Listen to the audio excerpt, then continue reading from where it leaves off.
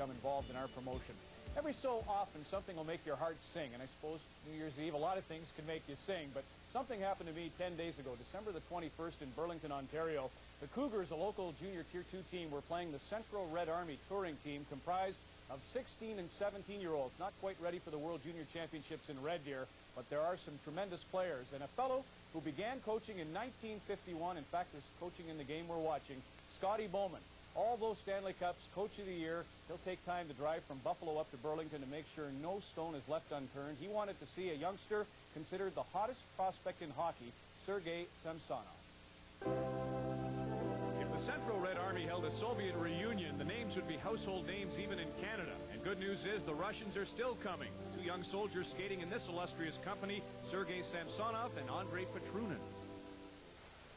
Red Army team, they really get on quickly. Samsonov now trying to break in. Gets a pass. Petrunin scores. What a great shot. Well, a couple of great moves on him. First, a great move by Samsonov, and then followed up by another one for by Petrunin.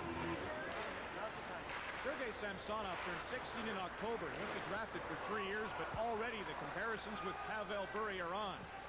Watch these moves. Last year in Moscow, 50 games as a Bantam, 110 goals. And his line mate, center iceman Andre Petrunin, played 57 games as a Bantam and scored 85, notching almost 200 points. They should be in Red Deer. They're filling buildings in southern Ontario, and that means valuable dollars for the Red Army juniors. Samsonov is drawing rave reviews, even if somewhat quietly, from knowledgeable folks like Scotty. Uh, he's a great player. There's a lot of great players. They're young, of course. Uh, don't know what could happen between now. They're, I think he's a draftable player in 1997 or something. It's unbelievable that, you know, it's a long way off. He's not a very big player, but he's uh, got great skills. Why is he not playing at the World Junior Championships in Alberta?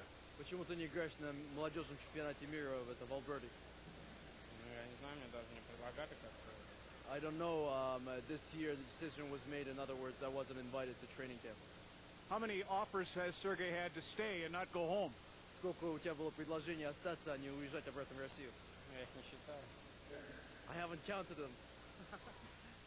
Andrei Petrunin, draft eligible in 1996. Sergei Samsonov, draft eligible in 97, assuming status quo with the new CBA.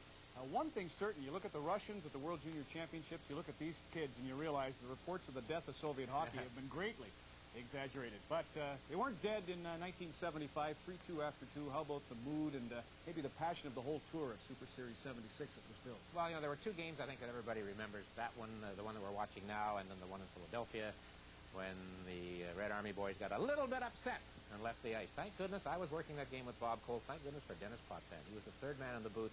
And Denis talked and talked and talked through all that long delay. He was just marvelous. Well, we're enjoying Danny. We should go to a little clip of that because uh, Ed Van Impe roars out of the box, hits Valeri Kharlamov, and uh, at that point the coach says, that's it. My players are going to get killed. I'm taking them off the ice. And Bob Cole said, They're going home. Yeah, they're going home. Can you imagine? Denny, it's been a short afternoon. Oh, it's terrible. They're acting like a very frustrated hockey club. And I think they're displaying poor sportsmanship. Can you believe it, Kenneth? I certainly can't believe it. I thought they'd have a little more pride and to play the game. In 72, in Moscow, we stayed, and we took it all. And in 74, and now, the Philadelphia Flyers zoom around a little bit, and they're going home.